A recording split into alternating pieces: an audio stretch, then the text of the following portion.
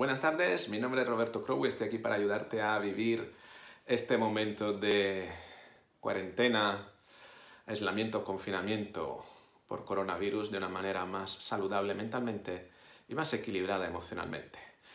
Y una manera de hacerlo equilibrada emocionalmente es también eh, prevenir riesgos, ¿no? tomar, eh, aplicar eh, determinados procedimientos, sobre todo con la higiene, para no estar con la duda, con ese run run. Aplicar una norma, un procedimiento ayuda precisamente a tener menos miedo a afrontar una situación. ¿Por qué? Porque sabes que puedes confiar en un procedimiento. Alguien lo ha diseñado para que tú puedas aplicarlo y entonces, eh, de alguna manera, minimizar los riesgos, ¿no? En otro vídeo te hablé del, eh, mm, de un documento que ha publicado el Ministerio de Sanidad, bueno, el Gobierno de España, que se llama, lo tengo aquí abajo en el ordenador, Medidas higiénicas para la prevención de contagios de COVID-19. Si acaso en las etiquetas, arriba o abajo en el enlace, te pondré el vídeo anterior. Y este, este documento eh, son cinco páginas y recoge seis medidas importantes. ¿no? Ya hemos hablado de las medidas sobre eh, higiénicas a tomar en domicilios, también en urbanizaciones, con la limpieza en urbanizaciones, en las zonas comunes de, los edificios y también en los coches. Queda un cuarto punto interesante, son seis puntos en total. cuarto punto habla de medidas higiénicas a tomar en lugares de pública concurrencia. Es decir, farmacias, supermercados, eh, centros de trabajo, no está muy desarrollado esto, son solo tres puntos, pero te los quiero leer. Esto, em, el primer punto simplemente explica cuáles son los lugares y acabo de mencionártelo.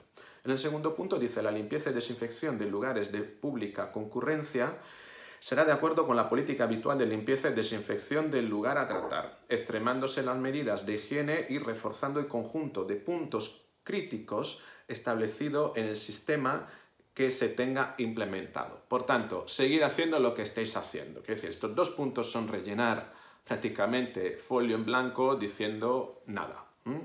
Tercer punto. Las empresas de servicio que realizan tratamientos de desinfección serán las indicadas para realizar los mismos, utilizando los productos virucidas autorizados por tal fin por personal profesional especializado. Y dice, ver lista de productos virucidas autorizados. Y otra vez dice de verlo, pero este documento estoy viendo si tiene algún tipo de enlace. Sí, al final del documento hay un enlace que dice listado de virucidas pt2ambiental.pdf, ¿vale? Por lo tanto, hay un listado. También este enlace te lo pondré eh, abajo para que tú puedas acceder a él, ¿no? Y después dice, bueno, mm, no dice mucho más. Estas empresas de servicios se encuentran inscritas en el registro oficial de establecimiento y servicios biocidas de las comunidades autónomas. Es decir, que tienes que ir a ese registro para saber quiénes son los autorizados y poder realizar un trabajo de acuerdo con la normativa, que también esta es otra, que mm, ahora con lo que está sucediendo cada cual se puede inventar, ¿no? Para captar negocio, pues que realiza determinadas actividades que requieren seguir un procedimiento muy concreto. Por tanto, muy importante listado de virucidas y también listado de servicios, eh, perdón, de empresas inscritas en el registro oficial, es decir, ir al registro oficial de establecimiento y servicios biocidas de las comunidades autónomas. Por tanto, de tu propia comunidad.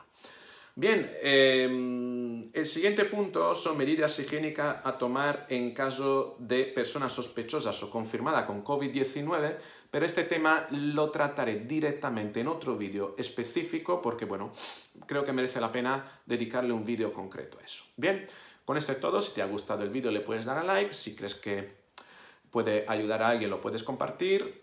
Si no estás eh, suscrito o suscrita, te puedes eh, también eh, suscribir, así le das a la campanita y recibirás el eh, aviso personalizado en el momento en el que publique el siguiente vídeo, que va a ser dentro de muy poquito. Bien, con esto es todo, nos vemos en el próximo. Hasta luego.